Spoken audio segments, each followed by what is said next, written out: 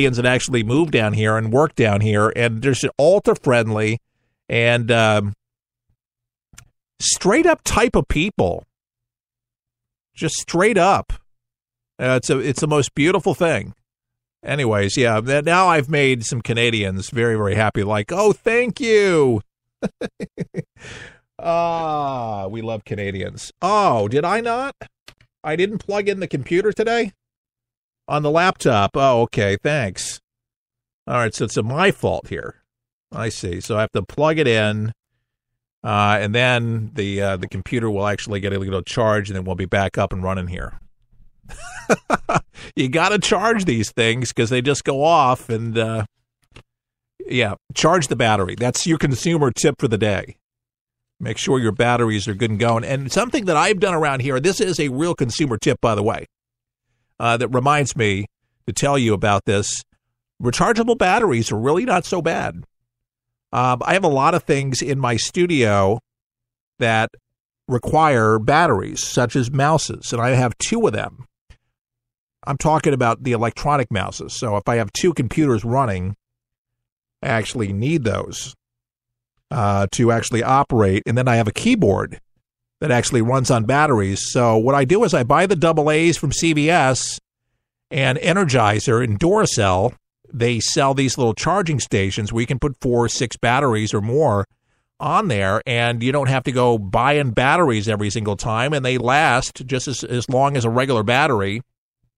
But you put them in the charger for you know four or five hours, and they're like new, and there you go. So there, there's a, a good thing. Charge, you know, if you're going through batteries for remote controls and this and that and gadgetry, we all have to put batteries in something around the house. Get the char- the rechargeable ones. Some of you already have done that, have gotten smart, but some of you don't know how to mess with it. It's it's easy. You just put them in this the uh, the yeah the charger, put put it in, and then it'll turn green.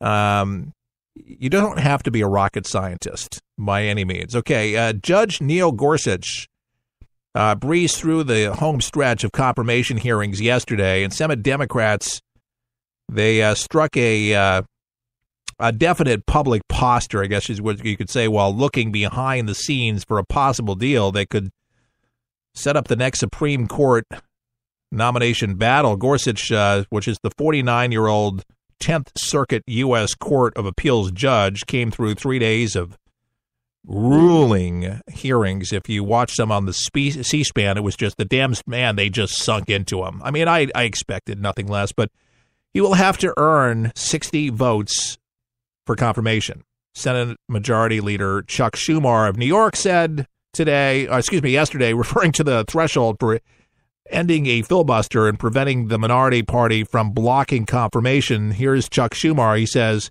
Judge Gorsuch's, not, Gorsuch's nomination will face a a closer vote. As I have said, he will have to earn 60 votes for confirmation. My vote will be no. But uh, Republicans who hold 52 seats in the upper chamber have the option of changing Senate rules so that a filibuster can be ended with a simple majority vote. Democrats, when in majority during the Obama administration, made the rule changes effective for all non Supreme Court nominations. Democrats are leery of pressing the ongoing confirmation process to the point Republicans invoke the so called nuclear option as if it would make a subsequent Trump nomination a a fait accompli. But you know, they're going to. I have a good feeling that they're not going to have to use the uh, the option. It is an option. It's on the table, and uh, there's speculation. I know Newt Gingrich has said that Paul Ryan he needs to step down if the health care doesn't go through. He's not able to pull these Republicans together. Republicans have been uh, divided with this health care all along. I don't think it's so much Ryan's issue we get uh, people that just just have a lot of feelings about this particular thing. I think finally Donald Trump finally spoke intelligently and effectively uh, when he spoke to Republicans when he went over to the Senate and said, "Look, guys, you know you're going to pass this thing or not." And they gave him the ultimate, uh, you know, say if you don't do this, you're stuck with Obamacare. It's going to implode on you. And for seven years, you said you had a better plan, And now Americans are waiting on you to make this decision. So if it's going to have some bearing, uh, we're going to find here in the home stretch today whether or not that made the difference. But we need to get this thing fixed, and it needs to happen. We already know that Obamacare is a bomb. It bombed out. We know it's not working. So, um, is there any perfection? Is there anything? Things can be modified, things can be changed, but it has to be better than what we're getting right now. And he has opened his doors to everybody that you can imagine to try to do the right thing to make it fair for everybody. I honestly think our president, his heart's in the right place. Now it's to see if Republicans will actually get together and do the right thing. And to me, the right thing is to ensure Americans with fair health care and not a healthcare program that's actually going to make us broke, um, or leave people that really do need to be insured insured. And I know a lot of people are worried that they're not going to get the proper insurance and that their premiums are going to even be higher because we've heard that, and uh, or it's just going to be as bad or worse, and nobody wants that, God forbid. And I don't think Trump would want something to be signed to say something would be worse because this would be a great catastrophe. This is something Hillary Clinton, if she ran in 2020, or any Dem would actually be able to go and say, look, you failed miserably on this. You accused Obama of all this other thing, and you just screwed up health care. And then you're going to get a bunch of angry voters on your hands. I can't imagine this being one of the pinnacle things that Trump ran on. I just cannot imagine that it's going to be that horrible. I can't. But I'm glad the people are being cautious. That's a good thing. But don't fight against what you've been saying for the last seven years. It just seems, uh, unless you have something better, which anybody that's really read this thing intelligently says this is so much better than what Obamacare has put out.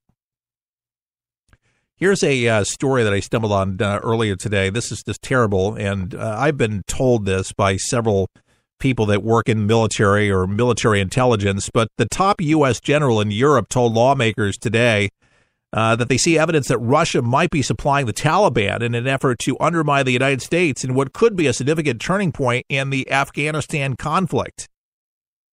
Uh, they said, I've seen the influence of Russia of late, increased influence in terms of association and perhaps even supplies to the Taliban.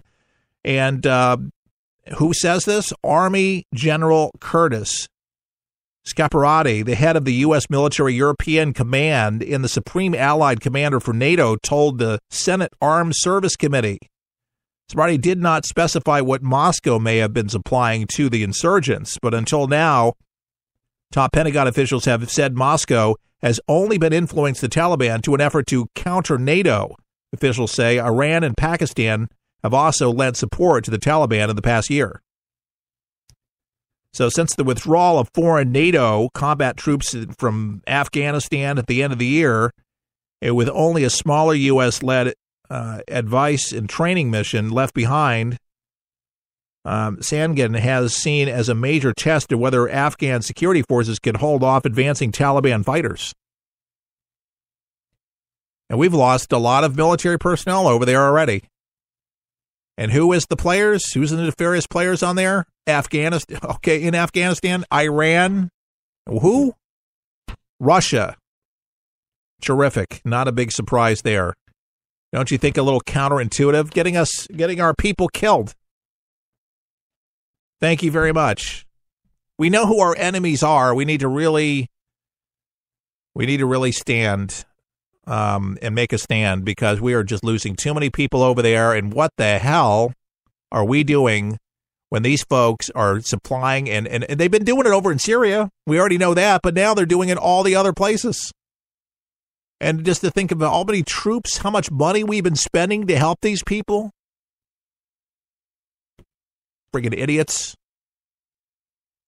Yeah, Russia's no friend of ours. Iran, we've definitely known, but man, there's no love there. I, I hope there's some tough talk out of the Trump administration for this crap going on there because when, whenever it just puts our, our troops in more harm's way like this, you know, we knew that Hezbollah and all that was, was with, with Iran, but now showing that the equipment is coming from Russia, thank you very much there I mean there has to be some condemnation there. The who where's the UN? Why, why aren't they screaming? Why isn't this front page news? If Fox News put it out. The AP didn't. Do you think that MSNBC and NBC, CBS, you think they're talking about it? No, they're not talking about it. But they were more concerned about the uh, meddling with the electoral college and all this other stuff with the uh, voting rig to, that Russia influenced directly the elections, which found out that that's not true. We're more concerned about those things, and then when it has to do with our troops in harm's way, they're not talking about it.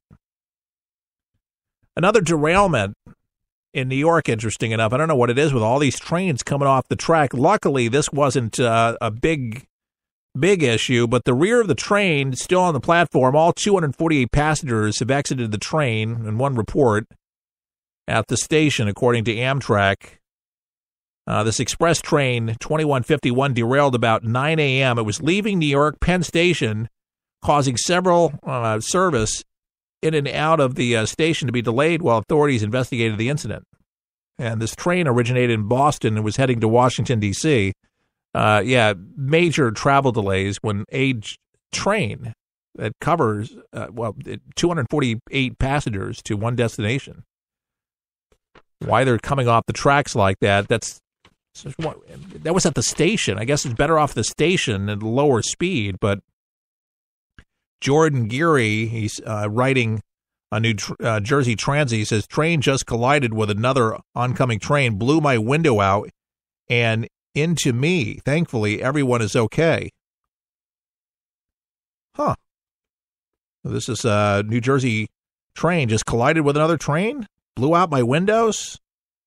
Yeah, that's a tweet that just came into New Jersey Transit. Interesting. The rear of the train was still on the platform. So there was kind of two incidents, one with Jersey Transit and then with the Amtrak. So there was two reports, and I'm just learning about the New Jersey Transit train. And I used to actually take the New Jersey train from uh, Upper Montclair into Hoboken. And when I used to commute, commute into New York City, this we're, we're talking the 80s here, folks.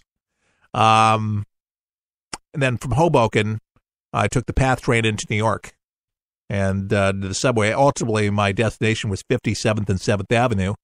I worked uh, right down from Columbus Circle, right near the uh, where the Hard Rock Cafe was, where the Cadillac was sticking out there. Yeah, for years it was there, and I worked on the seventh floor, uh, 57th and 7th Avenue.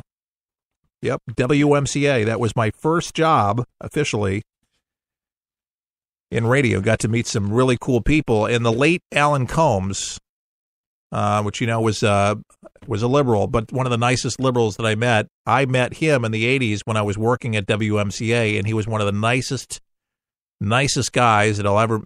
I, I will tell you, very kind to, to everyone, but even a kid, even to a young, you know, kid, 16 years old, you know, wanting to learn radio. He was very sweet and uh, very giving with his time and uh, very polite to everyone. And uh, him and uh, my dad got along very, very well. My dad was very conservative, but man, they used to have the hell of a conversation about politics, and it was fun. But uh, Alan, that was a little stint that he had for two years at WMCA, by the way. Um, before I think it was, yeah, the contract at uh, it was ABC or NBC. It was an NBC. Um, they just didn't renew the contract. I think they changed formats, and then he came over uh, for two years. And so that was a pretty big deal. And he used to have a, well, people used to love to call into the show because, man, they just hated his views or the left liked it because that at that time, they really did have fair and balanced radio where you had to have, for every Republican, you had a, you know, a liberal in the building with a show too. Um, but, uh, you know, you can have all Republicans now or all Democrats on a radio station. But we do know this for talk radio, there's more conservatives on the radio than liberals. Could air America that backfired completely. And the other testament, they say, is as much as America is divided, you know, with uh, conservatism, there's more people that voted for Donald Trump to the left than we'll ever know, uh, or people would ever admit they, but they won't admit it because obviously they'll get canned or they'll lose their friends or their spouse. They they won't talk to him anymore.